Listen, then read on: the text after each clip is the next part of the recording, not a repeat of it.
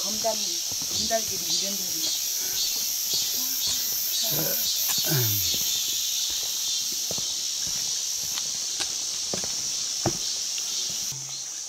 지리산의 여신 마구 여신께서 거하시는 곳 마구성입니다. 정말 신령스러운 기운이 막 감싸고 있군요. 검달산입니다. 검달산에 있는 연못. 아름답죠?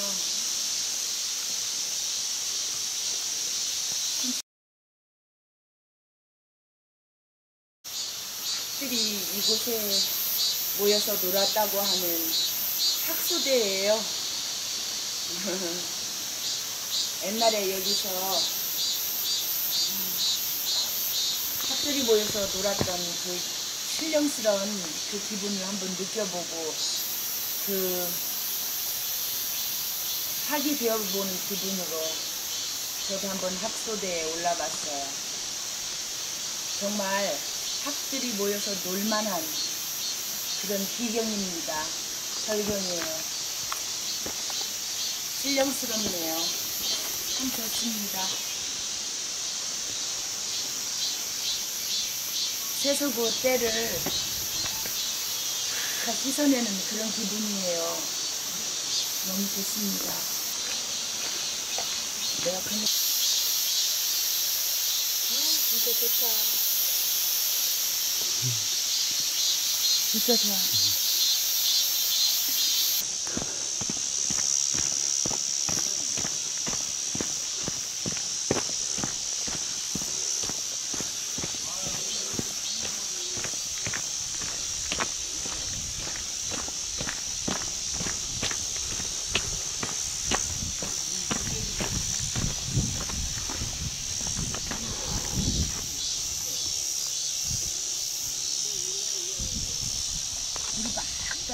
오, 진짜 맑아.